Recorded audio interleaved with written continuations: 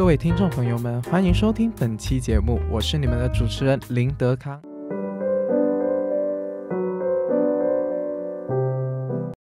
Chào mừng các bạn đã quay trở lại với chương trình Trà sữa cùng Trang. Hôm nay Trang đang ngồi tại phòng thu âm của trường đại học Tế Tân và quang cảnh đặc biệt này gợi nhớ đến uh, một bạn sinh viên mà cũng chính là khách mời đặc biệt của ngày hôm nay, bạn sinh viên năm 3 thuộc khoa phát thanh truyền hình và điện ảnh của trường đại học Thế Tân.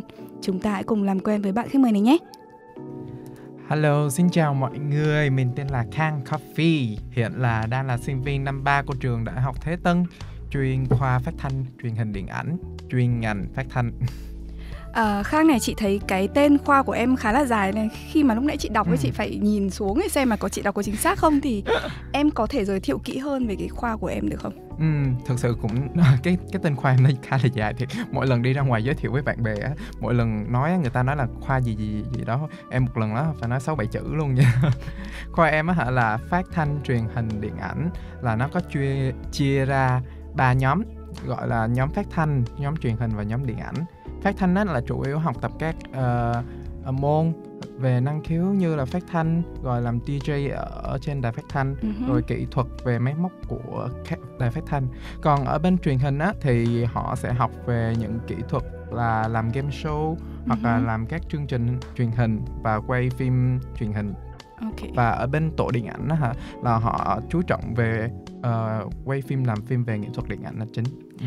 vậy uh, chị thắc mắc là liệu có cái gì nó liên kết hoặc kết nối giữa ba cái khoa này không à không ba nó là ba phần trong một khoa chứ đúng không dạ yeah. ừ. nó là ba phần thuộc trong một khoa tuy nhiên nó là chia ra làm ba phần nhỏ như vậy nhưng thực chất là các môn học ở trên khoa tụi em uh-huh. là đều có thể chọn các bạn đều có thể chọn qua lại vậy đó chỉ là cái yêu cầu về cái môn uh, gọi là môn gì ta môn bắt buộc á uh-huh. là nó nó khác nhau thôi thì ví dụ như là chị đang học khoa phát thanh mà chị muốn sang học khoa điện ảnh thì có thể được hả? À đều, đều, đều được chị. Lúc à. chọn môn á hả là kiểu như là cái môn bắt buộc uh-huh. của khoa điện ảnh nó sẽ là môn tự chọn của khoa à, bên phát thanh tụi em vậy đó. Ok, thế chị có một cái sự hình dung nhẹ nhẹ là ví dụ như trong trường hợp mà hiện tại chị đăng ký vào là khoa phát thanh thì sau đấy mà chị muốn ra làm về điện ảnh thì có được không? À, có được chị, bởi vì cái đầu ra của tụi em á hả là uh, lúc làm tác phẩm tốt nghiệp là không uh-huh. có chia uh, là không có chia ra chuyên ngành nhỏ. Là ba tổ kiểu như là phát thanh truyền hình điện ảnh đều có thể làm tác phẩm tốt nghiệp chung với nhau. Cho nên nó hả đầu ra hả là nó lĩnh vực là chung với nhau hết á chị. Tức là khi mà mình vào có thể là mình sẽ hơi mơ hồ với ba cái tổ này nhưng mà sau đó thì mình sẽ có cái sự định hướng dần về sau khi đúng mà rồi, mình gần thi tốt nghiệp đúng không? Đúng rồi chị, bởi vì trong các môn á thực chất là nó chia ra rất là nhỏ. Ừ. Các môn tự chọn hay là bắt buộc gì đó ừ. họ là uh, các giảng viên giáo sư họ đều dắt mình đi học từng bước từng bước cho nên nó là mình có thể qua từng bước đó biết là mình thích hợp với những cái coi như là chức vụ nào hoặc là ở lĩnh vực nào hơn và nó cũng sẽ dễ định hướng cho mình lúc mình sau khi tốt nghiệp ra vậy đó. Thì uh, hiện hiện tại là Khang đang học tổ nào trong cái khoa này? Uh, hiện tại Khang đang là sinh viên của tổ phát thanh. Tổ phát thanh à đúng rồi vì uh, sinh viên tổ phát thanh nên chúng ta đang được uh, quay tại đây. quay ở phòng thu âm. Một sự đặc cách rất là đặc biệt. Ừ, Khang có thể nói rõ hơn về cái cái tổ của em không? Uh, ừ. Tổ của em thì kiểu như là lúc vào năm nhất á, là chủ yếu là học về các môn kiểu như là luyện giọng phát thanh ừ. kiểu như là chỉnh các chữ ừ. cho nó chuẩn theo phát âm tiếng Trung vậy ừ. đó rồi sau đó hà dần dần là học các uh, kiểu như là cách sử dụng thiết bị thao tác ừ. thiết bị giống như là ở phòng thu âm bây giờ yeah. Dạ. bởi ừ. vì kiểu như theo như một tiêu đào tạo của trên khóa là hy vọng là sau khi tụi em tốt nghiệp ra là vừa có thể làm người dẫn chương trình và cũng có thể làm những chức vụ để mà thao tác thiết bị ừ. đúng rồi bởi vì nhiều lúc có những người á họ chỉ giỏi về uh, kiểu như là dựng chương trình thôi họ không biết gì về thiết bị nhưng mà yêu cầu của khoa là ra là cả hai lĩnh vực đều phải biết như vậy ừ. là cái đường đi của mình nó cũng sẽ kiểu như chắc hoặc là nhiều hướng hơn người khác vậy đó ừ, chị ừ. nghe như này chị thấy giọng khang rất là hay rồi nhưng mà các bạn có muốn nghe thử khang nói một đoạn tiếng trung được không hiện tại bạn ấy đang à. uh, Khang thử nói một đoạn cho các bạn nghe được không?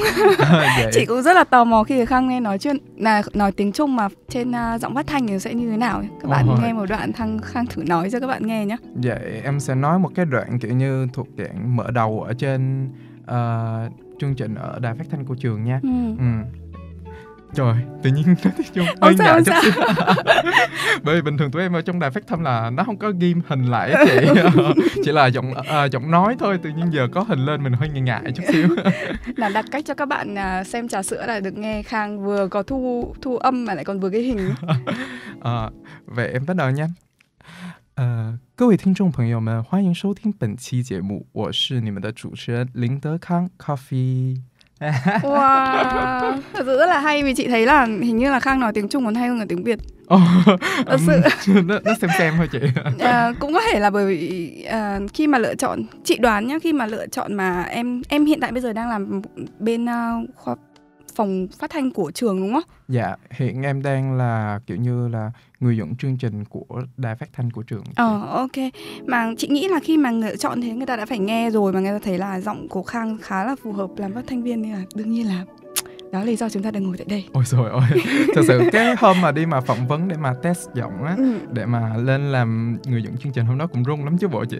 Lúc ở ngoài á luyện tập á. Trời ơi đọc sai quá trời ờ em có câu câu câu chuyện gì kể cho mọi người nghe không? Hôm đấy là mọi người đến em đến là người phỏng vấn như nào? Có cái gì đặc biệt không? Um, bởi vì nói sao cho dù là ở ừ. trên đài phát thanh là họ cũng chỉ chú trọng về âm thanh của mình thôi. Còn về cái mặt mà mình có biết biểu diễn hay không á thì họ cũng không có suy uh, kiểu như cũng không có đánh giá cao cho lắm. Ừ. bởi vì vẫn là quan trọng là cái chất giọng của mình mà uh-huh. cho nên nó là khi đó là tụi em test giọng á là tới đài phát thanh xong họ sẽ cho một cái kiểu như là một cái tờ báo ừ. Ừ, trong đó nó sẽ có ghi những nội dung là lát nữa mình sẽ tùy cơ ứng biến và vô trong phòng thu sau khi vô trong phòng thu xong á họ là các uh, thầy cô phụ trách ở phòng thu họ sẽ bật phát thanh lên và sau đó mình phải đọc hết lại cái bài báo đó. Wow. ờ, mình đọc theo sao? Bởi vì hình như khảo sát thứ nhất là có lưu loát hay không? Ừ. thứ hai là phát âm có chuẩn hay không? Và thứ ba là mình có thể là tùy cơ ứng biến theo cái giọng của bản thân hoặc là theo phong cách của bản thân hay không? Vậy đó. Và sau khi họ sẽ thu cái phần âm thanh đó lại và về nhà họ từ từ họ nghe để mà đánh giá. Tức là không đánh giá ngay tại đấy? Họ không đánh giá ngay mà tại sau đó. đấy mới đánh giá. Đúng rồi Trời ơi, thật sự là Cho nên là cái đó cũng rất là rung á. Kiểu như về nhà đợi kết quả Ôi trời, cái giọng mình hôm đó có được hay không? Mà, mà chị mà chị hỏi nhỏ nhá. Tại dạ. vì thực ra chị thấy là Cái việc mà người ta đánh giá là đúng đương nhiên mình làm làm phát thanh mà. Dạ. Nhưng mà quan trọng mình lại là lưu học sinh Mình người nước ngoài.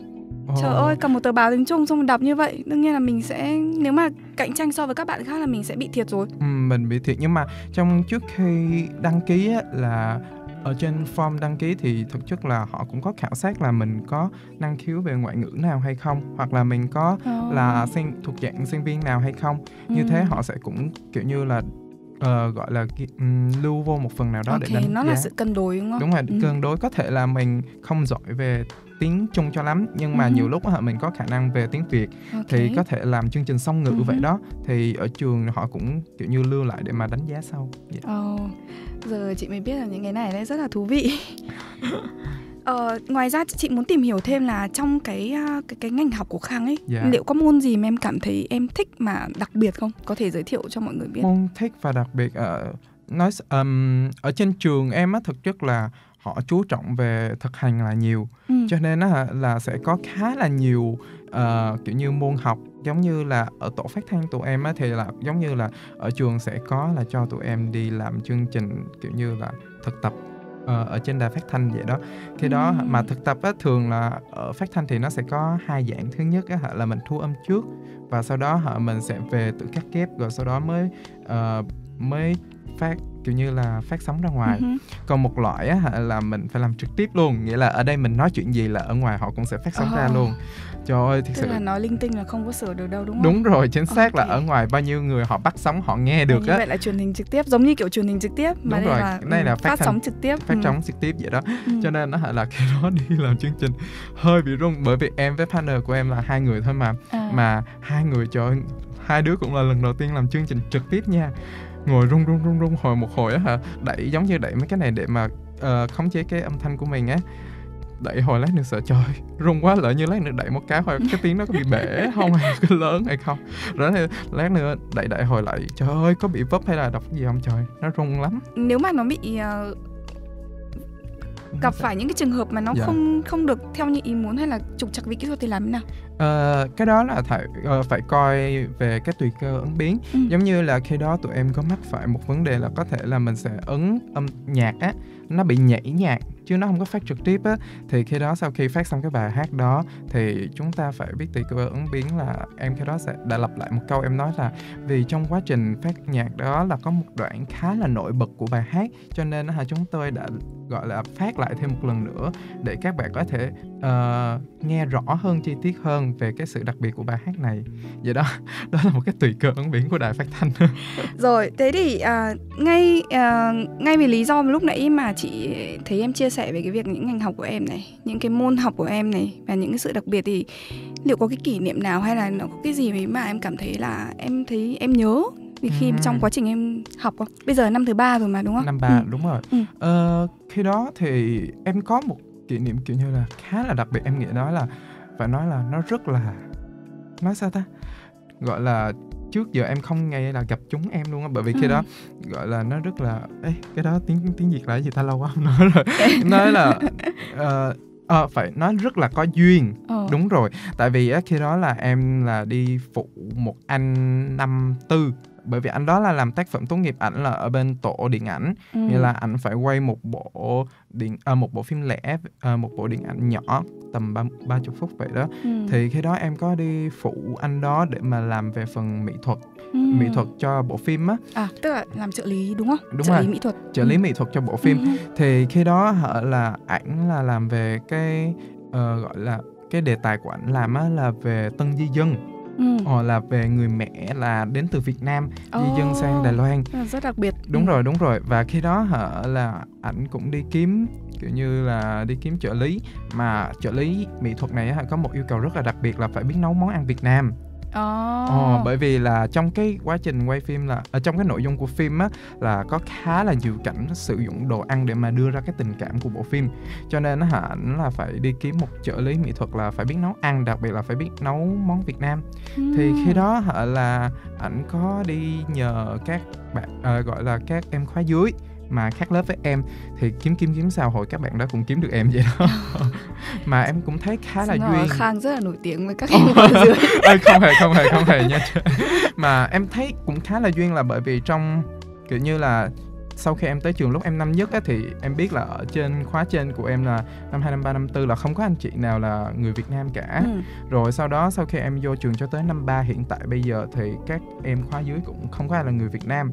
Mà em thấy rất là duyên là bởi vì tại sao trong 4 năm đại học của em lại có một anh là làm về đề tài như thế này ừ. mà lại kiếm được em nữa thì em nghĩ nói là ồ trời cái này nó ừ. rất là duyên cho nên là em nhất định phải đi phụ anh đó để mà hoàn thành cái tác phẩm này vậy đó ừ. Ừ, cho nên à, nhưng mà lúc nãy chị có nghe đến em nhắc đến một cái chi tiết là tức là bộ phim ấy khi người ta sử dụng những cái um, món ăn Việt đúng không yeah. Dạ. để phản ánh cái tình tình cảm yeah. Dạ. ở trong cái bộ phim như vậy có nghĩa là những cái món ăn đấy nó thực sự đóng vai trò rất then chốt trong bộ phim dạ đúng rồi. Điều đó điều đó có nghĩa là em sẽ phải làm những món ăn mà truyền tải được cái cảm xúc đấy. Đúng rồi. Thế em cảm thấy có khó em nghĩ là thực chất á là làm món ăn nó khá là đơn giản đối với em. Bởi vì em cũng hay nấu đồ ăn mà. Cho ừ. nên là về phần chế biến thì nó không có vấn đề. Nhưng mà còn một cái vấn đề khác nữa là tại là mình làm xong món ăn mình phải bỏ trước cái máy ảnh cái máy quay uh-huh. nó làm sao để mà trình bày lên được uh, lên được rất là, là lên hình bởi vì nhiều lúc đó hả là về cái kiểu như là gọi là cái cái trình uh, gọi là, kiểu như là cái phong màu của bộ phim uh-huh. đó đi nếu là nó là về phong màu uh, phong màu ấm nghĩa là hơi vàng á uh-huh. thì nhiều lúc những món ăn mình bỏ lên nó có thể là sẽ bị tối đi hay là cái gì đó ừ. thì mình phải làm cách nào để cho cái món ăn nó nhìn sinh động hơn. Và trong quá trình quay nó cũng không thể nào là quay một lần là xong cả có thể sẽ lặp đi lặp lại cả mười mấy lần vậy đó. Cho nên hả cái về cái món ăn đó mình có thể là phải chuẩn bị mười mấy phần y chang nhau. Ồ, cho nên à, hả là mệt. khá là mệt đó. Bộ phim đã ra mắt chưa? À, bộ phim hiện tại thì chưa có ra mắt nhưng mà sẽ được uh, chiếu ở rạp vào tầm uh, cuối tháng 5, đầu tháng 6 khoảng chừng oh. giờ đó. Oh, bởi vì cái đó là tác phẩm tốt nghiệp của à. anh khóa trên khi đó là tụi em sẽ có một cái triển lãm tốt nghiệp uh-huh. và sau đó hả là sẽ bỏ cái bộ phim đó công chiếu ở xi mệnh tiên vậy đó Ồ, oh, chị rất trông trông trông chờ được xem bộ phim này nhớ nhớ nhắc chị để dạ, đi dạ. xem vậy thì ngoài cái việc mà lúc nãy chị nghe thấy kỷ niệm của em ấy thì chị đoán này nhá cái cái việc học của em ấy cái khoa của em này phát thanh này truyền hình này điện ảnh này thì đương nhiên là như này trong khoa của mình chị thấy rõ ràng trong trường là rất nhiều trai xinh gái đẹp rồi yeah. Dạ. thì chắc chắn mà đi ra trường này toàn những người nổi tiếng đúng không? Dạ. Yeah, Chả khang có gặp người nổi tiếng um, kiểu như là hồi năm nhất mới vô trường nhá là bởi vì khi đó các bạn mà qua du học ở Đài Loan hoặc là qua học ở cái trường mà mình muốn á ừ. là thường là sẽ lên trên YouTube để mà search những thông tin liên quan tới trường oh. mình nè vậy đó trời ơi khi đó có search chúng là một anh kiểu như là anh đó giới thiệu về cái trường này kiểu như rồi nhìn xuống trời ơi ảnh là youtuber Ồ oh. oh, trời ơi kiểu đó kiểu vậy đó oh, các hóa bạn... ra là các bạn ý uh, search về trường theo một kiểu khác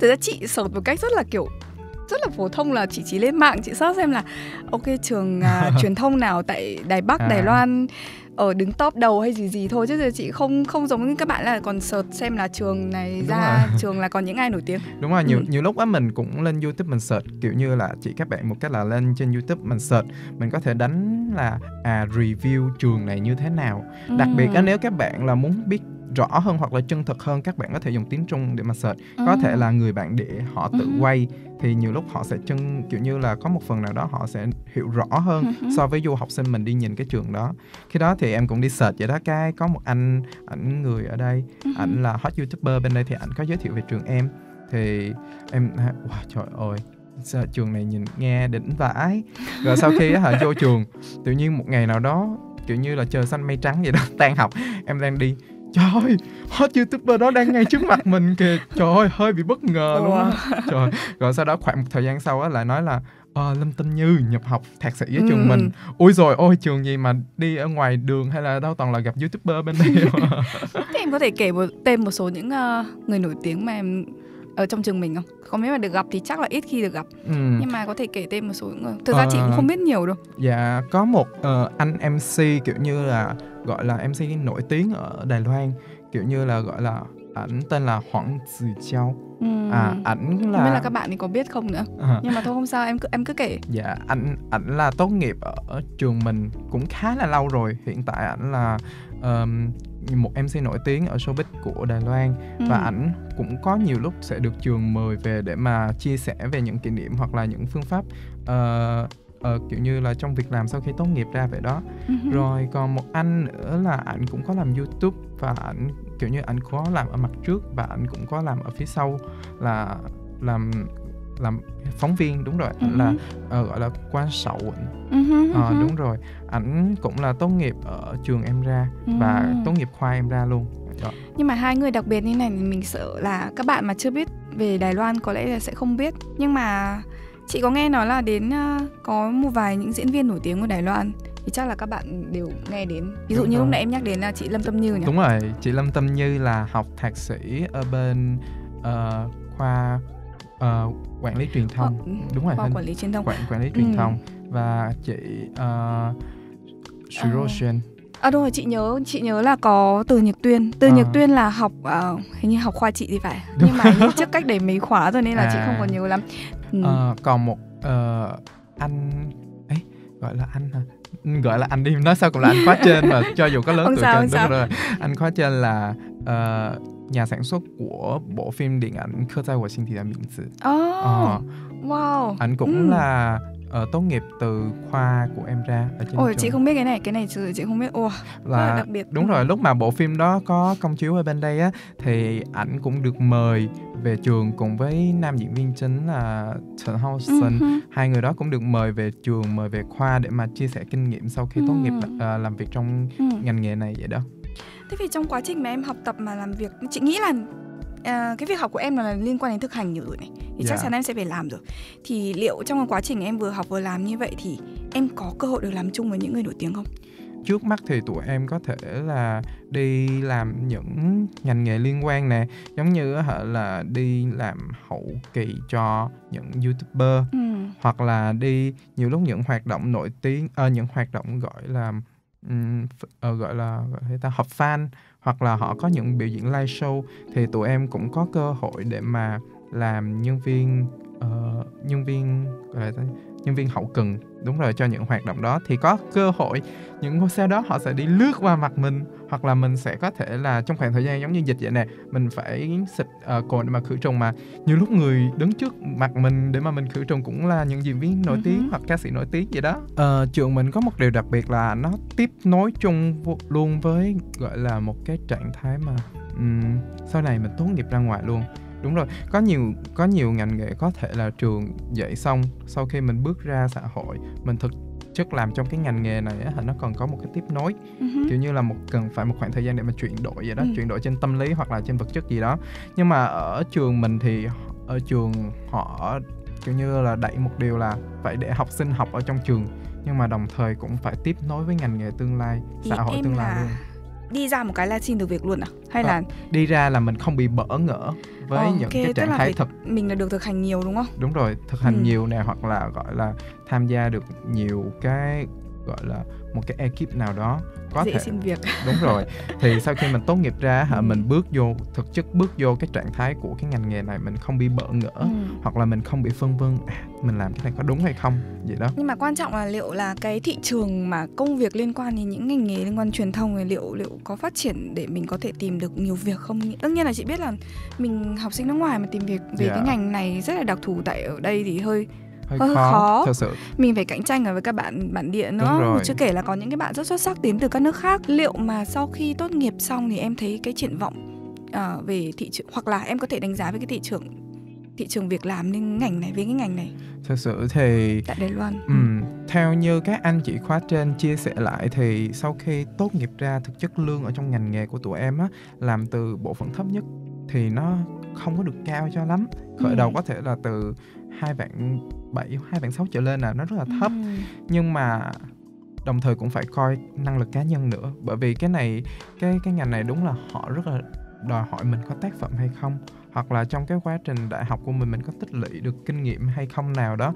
Đúng rồi cho nên tốt nghiệp ra cạnh tranh cũng khá là cao. Bởi vì không chỉ trường em trường mình là có cái ngành nghề này thôi mà ở trường là thậm chí mười mấy trường hai mấy trường cũng rất là nhiều trường đào tạo về ngành nghề này và cùng một khóa tốt nghiệp ra chỉ cứ nghĩ vậy đó một khóa tốt nghiệp là gần cả ngàn uh-huh. người vậy đó trời ơi uh-huh. cho nên nó là cái cạnh tranh nó cũng khá là cao cho nên điều em nghĩ là mình cần phải tích lũy nhiều kinh nghiệm hơn nhiều tác phẩm hơn nếu mà mình thực sự muốn đi tiếp trên cái ngành này sau khi tốt nghiệp ra và theo như em biết thì um, mình sau khi ra mình mình lên năm 3 năm tư thì mình nên có một vài kiểu như là đi thực tập. Ừ. đúng rồi trong quá trình thực tập thì thứ nhất là nó có thể giúp mình thực sự biết được là trạng thái công việc ở xã hội như thế nào. Thứ hai thì mình có thể tích lũy một số tác phẩm. Đúng rồi ừ. tác phẩm rất là quan trọng trong cái ngành nghề này. Thì mình sau khi mình tốt nghiệp ra mình có thể lấy tác phẩm ở trong cái đơn vị thực tập lúc đầu của mình để mà nộp vô công ty tương lai vậy đó ừ. và ừ. một phần nữa em nghĩ là thực sự là mình cũng không có thể nào mà gọi là đi cạnh tranh trực tiếp được với với các bạn người bạn địa ở đây thực sự đó là một cái gọi là một cái uh, thiệt thòi cho mình về ừ. không chỉ là về mặt ngôn ngữ hay là cái gì đó nhiều lúc mình cũng phản ứng không kịp á cho dù thực sự ừ. đúng rồi cho giống như bây ừ. cho tới giống như bây giờ em ngày nào cũng sử dụng tiếng trung và em ừ. làm chương trình cũng bằng tiếng trung nhưng nhiều lúc nếu mà có chuyện gì đó xảy ra đột ngột thì cái phản ứng về ngôn ngữ hoặc là gọi là uh, logic của mình bao giờ nó cũng sẽ chậm hơn đúng rồi mình ừ. sẽ chậm hơn họ cho nên cái đó là cái điều thiệt thòi của mình cho nên em nghĩ là các bạn có thể nếu nếu mình biết mình có cái đặc điểm như vậy thì mình hãy phát huy cái đặc điểm của mình ừ. giống như là à nếu mình đến từ Việt Nam mình hoặc là đến từ bất kể các nước nào đi thì một cái lợi thế của mình là mình sẽ hơn họ về một cái ngôn ngoại ngữ đúng và đó là ngôn ngữ mẹ đẻ của mình ừ. thì mình hãy áp dụng nó vô cái việc tương lai giống như hiện tại bây giờ thì em hơn tuy nhiên là em không có giỏi được bà người bạn địa về mặt tiếng trung nhưng mà em hơn họ là em có thể dựng chương trình song ngữ. Đúng rồi. Và sau khi em ví dụ hoặc là em làm youtube cũng vậy thì em có thể là chia sẻ văn hóa giữa hai nước. Ừ. thì hoặc là mình có thể sử dụng hai ngôn ngữ để mà đi dựng cái kênh youtube của mình. Như vậy á, thì mình vừa có được khán giả của bạn địa mà mình vừa có được khán giả của uh, Việt Nam. Và thông qua những tác phẩm đó họ cũng có thể phân tích được à thực chất mình là có một người có có khả năng đúng rồi, mình, tuy nhiên mình không có giỏi về ngôn ngữ nhưng mà cái khả năng làm về, gọi là, một cái dự án của mình đi, mình lên dự án, mình cũng có thể làm cho nó thành công và mình dẫn được có, kiểu như là, có người quan tâm đến, nhiều người xem đến, thì điều đó cũng chứng minh được một cái, gọi là, cái năng lực của bản thân vậy đó ừ. ok em có thể chia sẻ những cái áp lực và những cái khó khăn mà em gặp phải trong quá trình em học tập không? Ừ. Em nghĩ cái áp lực lớn nhất sau khi mà em vô đại học kiểu như năm nhất luôn nha là không kể ngoại ngữ nha bởi vì cái đó em nghĩ là đối với các bạn du học sinh nào họ cũng phải mắc phải cả cho dù mình có rành cỡ nào thì cái khoảng thời gian đầu mình chắc chắn cũng sẽ có một cần cái thời gian để mà mình kiểu như là thích nghi vậy đó ừ. về cái hoàn cảnh ngôn ngữ ừ. còn một cái nữa em nghĩ là về kiểu như là sơ kiểu như là về tầm hiểu biết về ngành nghề này đối với bản thân đi ừ. ví dụ giống như là ở các bạn ở bên đây nè họ lúc lên họ học lúc học cấp 3 có thể họ học ở lớp mỹ thuật kiểu như ừ. là họ kiểu như là bởi vì cấp 3 theo như em biết là cấp 3 ở Đài Loan á là họ đã có chia ra về những khoa uh, gọi là có chia ra chuyên ngành luôn à ha chuyên khoa okay. hay chuyên ngành gì đó tuy ừ. nhiên không phải là về mức cử nhân nhưng mà họ đã có chuyên về một cái môn nào đó giống như là về mỹ thuật nè hoặc là diễn xuất nè hoặc ừ. là uh, múa nhảy các thứ đúng rồi sau khi bước vô đại học xong thì mình mới phát hiện trời ơi các bạn xung quanh của mình họ đều rất là có tài giống như là các bạn giống như là các bạn về có học mỹ thuật đi ừ. họ sau khi vô họ về cái khả năng cắt ghép hoặc là phối cảnh phối gì đó của các bạn đó hơn hẳn mình luôn bởi vì ở cấp 3 của em á hả tuy nhiên em học về truyền trường chuyên tự nhiên.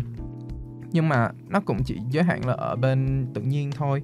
Và các môn giống như uh, với 12 hay 13 môn gì đó ở Việt Nam mình hay học đó có thể mình sẽ hiểu biết phần đó hơn. Nhưng mà về cái mặt năng khiếu thì nó bị giới hạn hơn so với các bạn bên đây. Ừ. Ừ, giống như hoặc là các bạn giỏi về nhảy múa đồ đi họ rất là biết cách để mà sắp xếp các hoạt động trong chương trình vậy đó. Bởi vì chương trình thường có những chương trình về thực tế hay là game show đó, họ cần phải liên lạc với những người có tài lẻ hoặc là biểu diễn, hoặc là sắp xếp chương trình thì họ sẽ rõ hơn mình.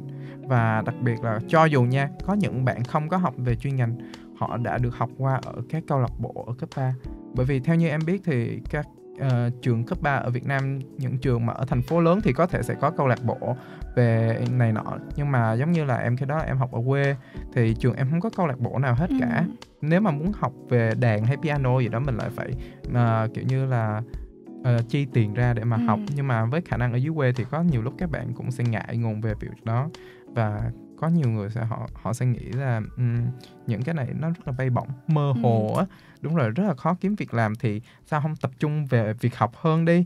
Thì sau khi em vô trường em thấy ôi trời ơi cấp ba của em chỉ biết học thôi em không biết đầu tư gì vô bản thân hết cả. Và cảm thấy mình cảm thấy là thật sự mình rất là không có so được với họ đó trong cái khoảng thời gian đầu. Trời cái áp lực đó khá là lớn luôn á. Chị hiểu chị nghĩ là theo chị nghĩ đây nó là sự khác biệt về văn hóa. Yeah. Dạ. bởi vì mỗi khi mình đi tới một quốc gia khác lại cái nền giáo dục khác nhau ấy yeah. Dạ. nó sẽ khác cũng như nếu mà ví dụ như các bạn Đài Loan mà sang Mỹ chẳng hạn du học cũng yeah. sẽ dạ. khác vì tại vì mình có sự khác biệt nên là có thể chị cũng chưa được học nhưng có thể là các trường đại học tại Việt Nam mà giảng dạy về các ngành phát thanh nghe điện ảnh yeah. họ cũng sẽ có những cái phương án hoặc là giáo trình phù hợp với những cái bạn mà ở tại biển bản địa muốn học như thế yeah. Dạ. và hơn nữa theo như chị thấy là các bạn trước mà như em kể là các bạn Đài Loan là cùng mà em vừa kể là các bạn đều có nhiều tài năng ấy yeah. Dạ. theo như chị thấy thì đấy nó là một sự có sự chuẩn bị và đó là một nền tảng đúng rồi họ đã có nền tảng chắc chắn nên là cũng chưa chắc là bởi vì mình hoàn toàn phải có một tài năng rất là rõ rệt có thể là từ lúc đó bạn có nền tảng nhưng khi bạn lên đại học là bạn thì sẽ có cảm thấy à không còn bị bỡ ngỡ ừ. nữa với lại em nghĩ là có một có thể là do một khả năng nữa là do em chưa có một là một cái mục tiêu khi em học năm cấp 3 giống như thì em hỏi các bạn ở trong cùng lớp với em á thì các bạn đó biết là à sau này mình tốt nghiệp ra họ kiểu như các bạn ấy đã được đi kiểu như là tiếp xúc nhiều ừ. Và các bạn đó trong năm cấp 3 đã biết là sau khi tốt nghiệp cấp 3 mình nên đi theo hướng nào. Ừ. cho nên hả là trước khi tốt nghiệp cấp 3 các bạn đó có thể là để đi học thêm nhiều cái môn liên quan tới ngành nghề này hoặc là đi tìm những hồ à, gọi là những hồ ấy, à, đi tìm những uh, kiến thức liên quan đến chuyên ngành vậy đó. Họ đã chuẩn bị trước năm cấp 3 và sau khi lên đại học thì họ đỡ bỡ ngỡ hơn. Còn khi đó là em kiểu như em còn phân vân lắm. Em là cho tới năm lớp 12 luôn á nghĩa là đầu năm lớp 12 em mới quyết định là không học về ngoại ngữ nữa. Em chuyển sang học truyền thông. Khi đó em mới bắt đầu chuẩn bị hồ sơ để mà đến Đài Loan để mà học.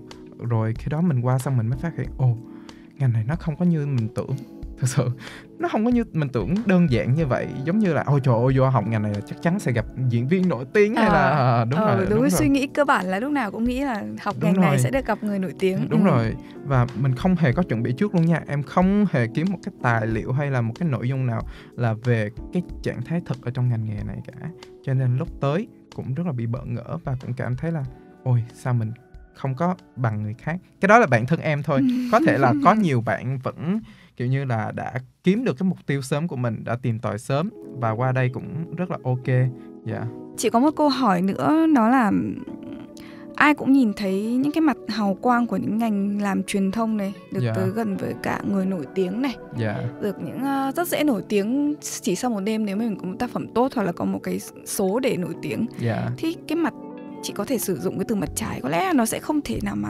mô tả một cách chính xác. Yeah. nhưng mà chị sẽ dùng mặt trái ở đây có nghĩa là những cái mặt trái nào mà em cảm thấy cảm nhận sau cái ngành nghề này? Mặt trái ôi trời có khi nào em nói ra cái người ta không muốn học ngành này?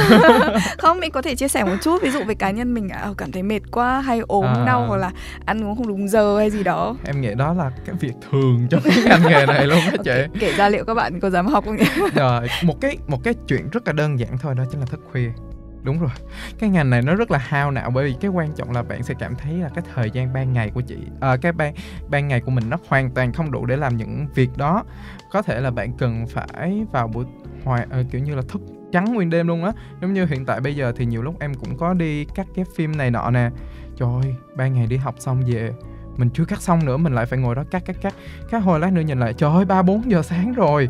Và sau đó ôi chịu không nổi nữa rồi, đi nằm xuống, hít mắt chút xíu rồi. 8 giờ chuẩn bị lên trường lại có tiếp môn tiếp nữa. Cho nên là nhiều lúc phải thức đêm, hoặc là những nhiều lúc là mình đi quay phim nè có những cảnh là về buổi tối, thì mình bắt buộc phải quay buổi tối thôi. Bởi vì ánh sáng cho dù là có điều chỉnh cỡ nào đi nữa, nó cũng không có điều chỉnh được giống như buổi tối thật sự mà. Cho nên là mình có thể là sáng đi học xong, tối thức nguyên đêm luôn để mà quay phim. Rồi hả, theo cái phim nhiều lúc chạy từ ở thành phố này qua thành phố kia, vậy đó. Giống như được trước em quay quay phim của em là tụi em là, kiểu như là, quay cảnh buổi tối vậy đi. Quay xong là tới tầm 12 giờ hay là một giờ gì đó tụi em ở Đài Nam về Đài Bắc. Ôi trời ơi thật sự là đêm đó về xong á nằm ở trên giường là liệt luôn á chị. Phải nói dùng từ liệt luôn. Rồi cái ai bắt đầu là thức đêm vậy đó. Và xong cái bắt đầu nó sẽ dẫn đến một cái hậu quả là uh, cái mặt của mình đó, nó không còn kiểu như là không còn hồn luôn á chị. Sáng đi học mà nhìn đứa nào cái mặt giống như là trắng bịch rồi không có hồn là biết à đứa đó tối hôm qua chắc mới đi quay xong đòi hỏi công việc phải có một cái thể lực thật tốt. Đúng rồi thể lực rất là tốt bởi vì uh, nhưng cái đó kiểu như là cái phải nói là cái thời gian là nếu mà bạn đi theo cái hướng mà quay phim nó rất là free là có thể là quay xong là bạn có một khoảng thời gian đó để mà nghỉ nhưng mà trong cái khoảng thời gian quay có thể là bạn sẽ bị đảo ngược ngày đêm vậy đó. Ừ. bởi vì tùy theo cái yêu cầu hoặc là cái hiệu quả mà mình muốn uh, trình diễn lên của tác phẩm. Đúng rồi. Rồi nhiều lúc có có một lần nha em nhớ là khá là đặc biệt là bởi vì khi đó là lúc mà đi quay á là tụi em quay nguyên cái ngày nguyên cả ngày luôn. Từ sáng là khi đó em nhớ là em 7 giờ là em phải ở trạm xe này tại vì tụi em phải đi xuống tới dưới xin chùa ở dưới Tân Trúc á chị. Ừ. là đi tới ở ven biển đó để mà uh, quay. Thì đi từ sáng cho tới là tầm 7 giờ tối 6 7 giờ tối tụi em mới về lại Đà Bắc. Thì khi đó đi là làm mệt vậy nè. Kiểu như trong lúc mệt đó thì mình cũng không có muốn ăn thì em nhịn ăn trời ơi nhịn ăn xong cái bắt đầu về tới đài bắc xong 8 9 giờ đói quá chịu không nổi rồi rồi bắt đầu mới chạy đi mua đồ ăn ăn nhiều kiểu như là ăn nhiều mà ăn khuya nữa ăn xong cái đi ngủ liền luôn cái hôm sau vô bệnh viện Trời ơi, vô bệnh viện luôn Bị bị làm sao? Khi đó đi bệnh viện kiểu như là bác sĩ nói là bị viêm ruột ờ, thuộc uh, bị viêm dạ dày đúng rồi. Ôi trời ơi. Viêm, viêm dạ dày cấp tính nói là sao ăn uống không điều độ. Rồi ờ. sau đó nhiều lúc uh, cái bụng đang yếu á cái là ăn cả đống đồ vô nữa cái bắt đầu cái bắt đầu bị viêm cái bắt đầu nói trời chết rồi. Mình lại phải tốn một ngày ở bệnh viện. Thời gian đâu mà mình còn phải đi chạy làm những việc khác chưa xong nữa vậy đó trời cho nên nói hả các bạn nào mà muốn đi ngành này nhất định là phải chăm sóc khỏe cái sức khỏe của mình nếu không là gánh không nổi đâu. Chia sẻ thêm với các bạn là trong lúc mà ngày hôm nay là đầu tiên trang đến phòng thu với trong lúc trang đang ngồi chỉnh góc quay này để luyện tập này thì khang vẫn còn phải đang chạy việc. Và bạn ấy cứ ngồi bên cạnh bạn ngồi cắt việc cắt ừ, cắt phim cắt phim đúng không em? Đúng đang rồi, ngồi cắt, cắt phim cắt, cắt và phim. đang làm việc. Thì trong lúc chờ và để quay mà hiện tại bây giờ hiện tại bây giờ là mấy giờ? Hiện, hiện tại, bây giờ, là, là 9 đã giờ 9 giờ. đã 9 giờ hơn rồi. Và công việc của em đã xong chưa? Mới nộp lên đang đợi ở trên sếp kiểm tra sao. Nếu sếp kiểm tra nói cái này còn thiếu nè em. Là tối nay lại phải thức làm rồi đó. Đấy, nếu mà các bạn nào mà muốn vào làm ngành truyền thông nhá đây là nói truyền thông nói chung thôi đấy. Truyền thông nói chung nên là đó. phải có một cái sự uh, gọi là uh, gọi gì là chuẩn bị trước về mặt tinh thần. Chứ Đúng chị rồi. thấy là bạn nào cũng thế thôi dù có xem biết trước thế nhưng mà mình là mới mà thanh xuân thì lúc nào cũng muốn cống hiến cho hết là thức đêm thức cô mà không còn khỏe lắm. Xong rồi đến vài năm nữa bắt đầu thấy yếu dần.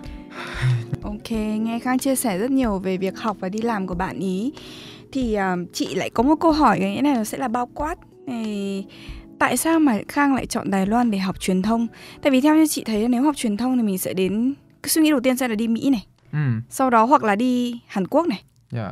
Dạ. vậy tại sao mình lại chọn ừ, đi học tại Đài Loan? Đài Loan, um, bởi vì khi đó là em em bởi vì em là người Việt Nam gốc Hoa.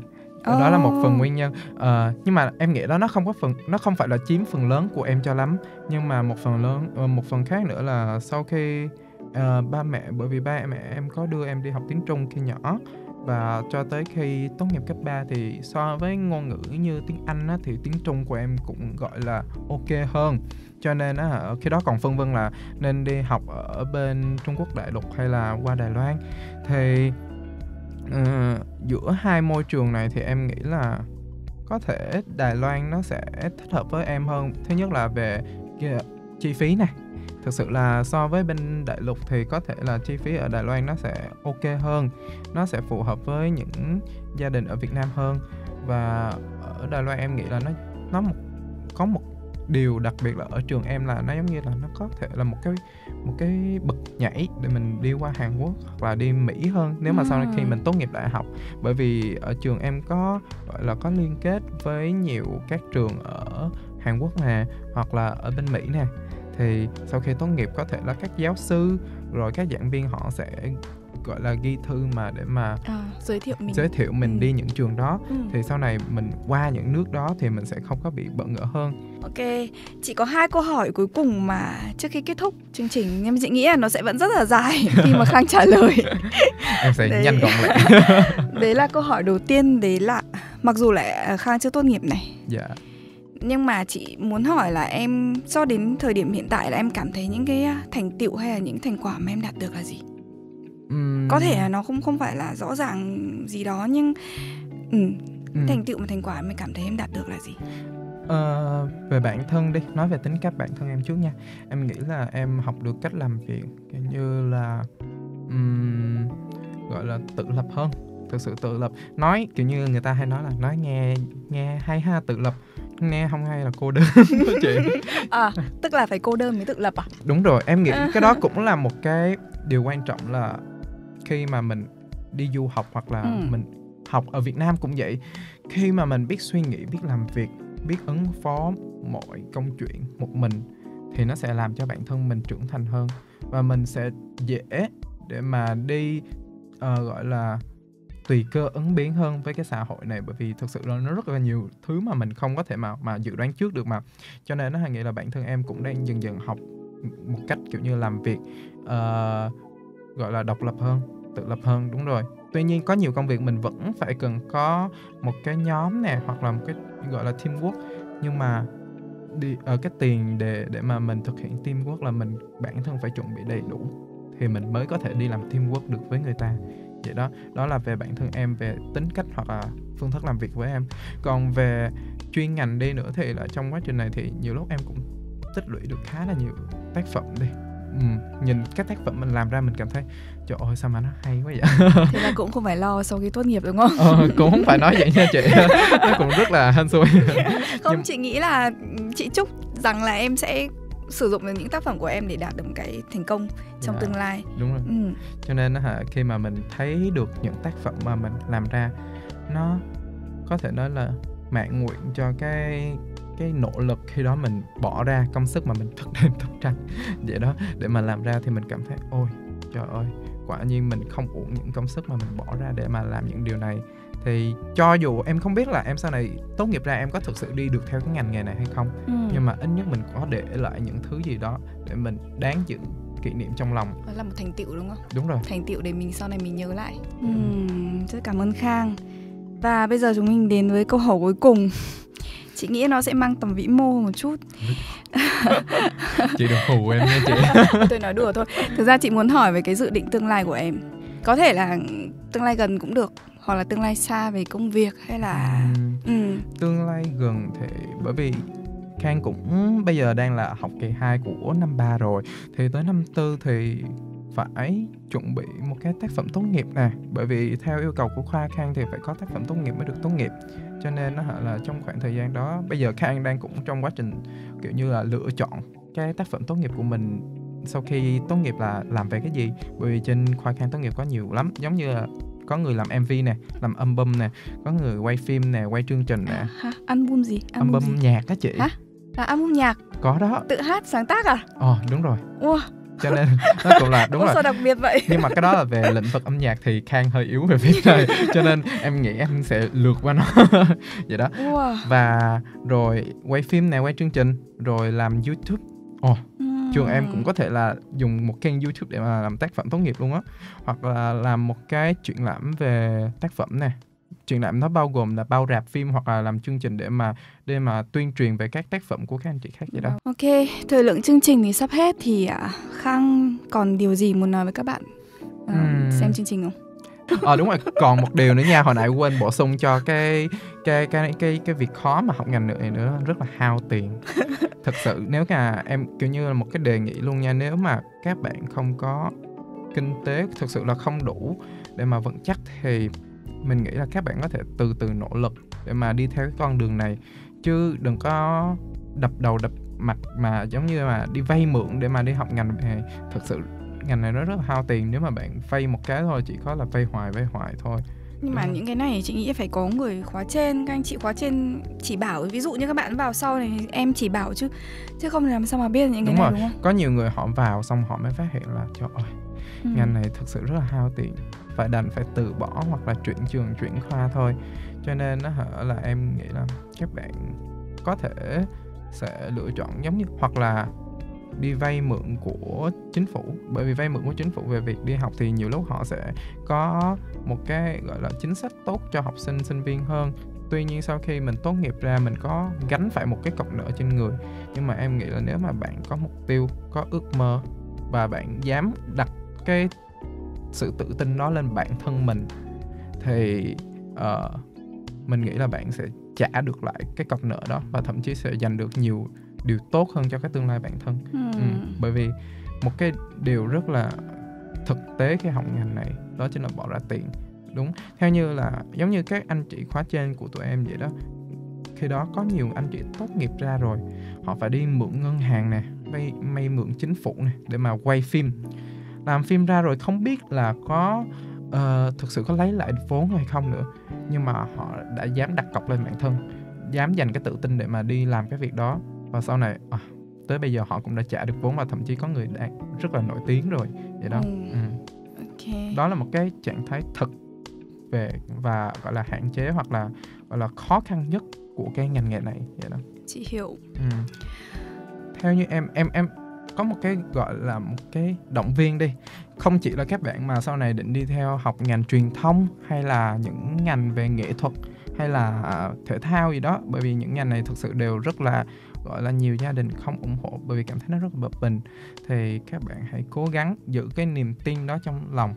Cho dù các bạn không học được học không học được đại học về liên quan thì các bạn hãy nỗ lực trong tương lai có thể dần dần sẽ đi được uh, gọi là gọi dùng những phương thức khác để mà tiếp cận với cái ngành nghề mình muốn hơn. Và một ngày nào đó, bạn thực sự đã nỗ lực vì nó rồi, em nghĩ là nó sẽ trả lại cho bạn, đền đáp lại cho bạn nhiều hơn mà cái sự tưởng tượng của bản thân mình. Yeah. Cảm ơn khang. Thời lượng chương trình thì à, có hạn. Thì à, nhân đây thì à, chị cũng chúc khang à, hy vọng là một ngày nào đó khang quay trở lại trà sữa trong một vai trò mới một nấc thang mới trong cái cuộc hành trình của bạn ý. Và chúc bạn ý tốt nghiệp với tác phẩm thật là nổi tiếng. Biết đâu chúng ta gặp khang với một uh, okay. một khang nổi tiếng nào đó trong làm mc chẳng Ôi, hạn trời, hay trời, là trời, phát thanh viên chẳng hạn đúng không? Em hy vọng cũng vậy. Thực sự là phải đặt tự tin lên nhưng mà chị rất là cầu mong chờ ngày nào đó em làm trong đài truyền hình không? Chị vào quay tận nơi nha okay. chị, đây mới okay. chỉ là phòng thu âm của trường đại học thôi okay. chứ còn nếu mà khi nào mà vào trong đài truyền hình nhất định sẽ quay lại cho các bạn xem okay. thật sự là như thế nhất định khang sẽ mời chị trang tới cảm ơn khang vậy à, trang hy vọng là mọi người cùng à, đón nghe và sẽ thích à, tập này và hãy theo dõi những tập tiếp theo của của trà sữa cùng trang nhé xin chào và hẹn gặp lại bye bye bye bye, bye, bye.